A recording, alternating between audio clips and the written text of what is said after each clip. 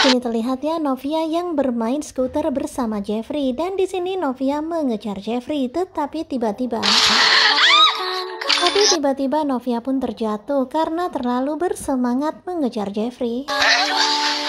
Dan tentu saja melihat yayangnya terjatuh, Jeffrey pun langsung panik dan menolong Novia. Kemudian dengan segera Jeffrey pun menolong Novia.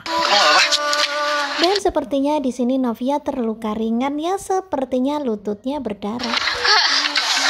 Dan kita juga mendengar Novia yang sedikit merintih ya, tentunya perih ya, kakinya terkena bebatuan. Dan tentu saja melihat istrinya kesakitan seperti itu, Jeffrey pun tak tinggal diam. Dan di sini terlihat ya Jeffrey pun gantian ngobatin Novia. Kemudian di sini terlihat Jeffrey menggendong Novia untuk kembali ke apartemen. Dan ternyata di tengah perjalanan menuju ke apartemen mereka bertemu dengan Michael. Kemudian di sini terlihat ya Jeffrey dan Novia yang sepertinya nggak suka ketika bertemu dengan Michael.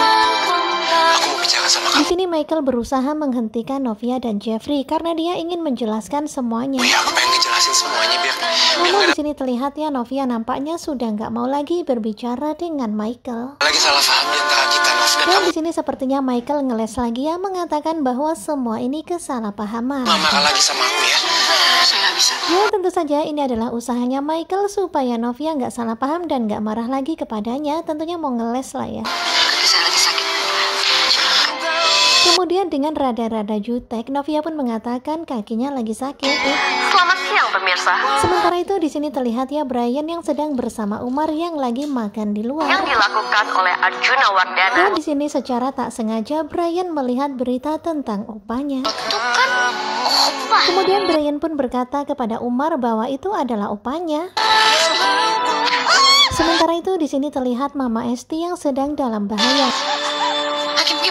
Sepertinya memang orang itu sengaja ya. Kemudian ternyata Tami dan Hakim sedang lewat di jalan itu. Kenapa, Tam? Dan kemudian Tami pun mengatakan kepada Hakim bahwa dia melihat seseorang yang tertabrak motor. Itu ada yang ketabrak tuh. Dan di sini terlihat ya mereka begitu panik dan juga kaget. Mereka belum tahu kalau itu adalah Mama Esti. Kemudian Hakim pun memperhatikan orang itu yang sepertinya dengan sengaja menabrak Mama Esti. Nah, kira-kira apa yang akan dilakukan para pengendara bermotor itu kepada Mama Esti? Dan apakah Mama Esti akan selamat dan diselamatkan oleh Hakim dan juga Tami?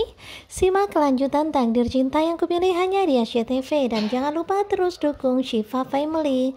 Terima kasih buat kalian yang selalu setia dan nantikan video-video selanjutnya. Terima kasih dan bye-bye.